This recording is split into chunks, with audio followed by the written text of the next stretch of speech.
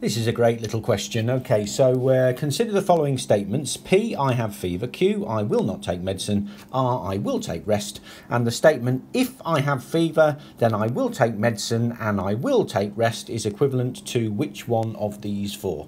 Okay, right, so if I have fever then is written as uh, A implies B, and that would be written here as P, i.e. if I have fever, then that implies that I will not not take medicine and I will take rest, and that can be written, rewritten as not P or not Q and R, and by uh, distributive law that can be not P or not Q and not P or R, which is option number one.